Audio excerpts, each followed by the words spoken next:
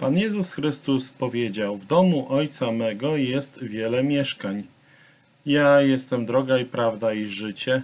Nikt nie przychodzi do Ojca, tylko przeze mnie.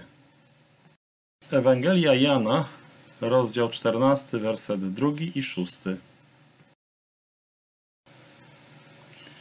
Jest to uważany za jeden z najpiękniejszych wersetów z całej Biblii, ale także uważany jest za jeden z najpiękniejszych zamków zachodniej Europy pewien zamek. I ten pewien zamek został zbudowany na skalę o wysokości 70 metrów, którą z trzech stron opływa rzeka. W przeciągu 800-letniej historii tegoż zamku nigdy nie został on zdobyty podczas działań wojennych lub nawet zniszczony i po dziś dzień jest własnością tej samej rodziny. Jego obecny właściciel z książęcego rodu postanowił jednakże udostępniać zamek dla zwiedzających jako atrakcję turystyczną w tym regionie. Pojedyncze zabudowania całego kompleksu zamkowego należały w sumie do trzech rodów książęcej rodziny, gdyż w 1268 roku zamek wraz z przyległym terenem został rozdzielony między trzech braci, którzy wspólnie z rodzinami zamieszkiwali na zamku. Ustalono wtedy rodzinny statut, niczym swoistą konstytucję zamku, która regulowała zasady życia i postępowania, a także była zarazem ogniwem społeczności pomiędzy rodzinami. Uwagę zwraca zapis tej konstytucji, który pojawił się dopiero w 1430 roku, a brzmiał mniej więcej tak.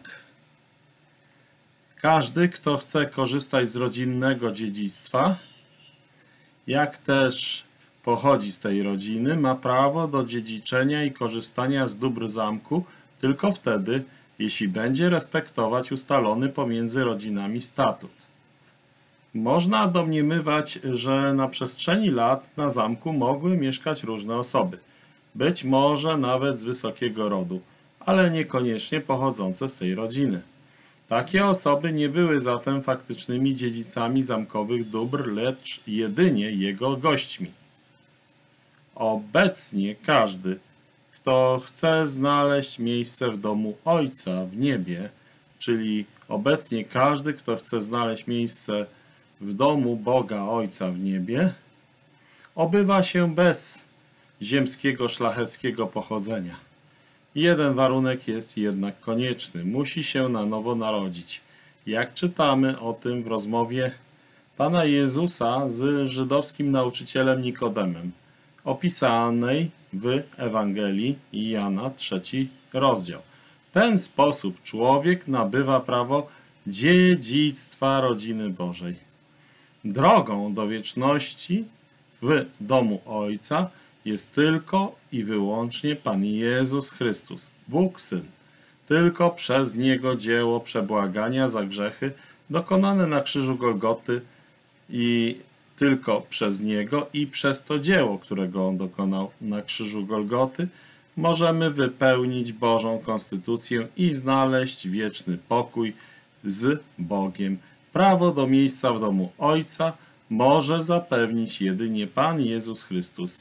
Tak, prawo do miejsca w domu Ojca może zapewnić tylko Chrystus. Czy Ty wierzysz w to?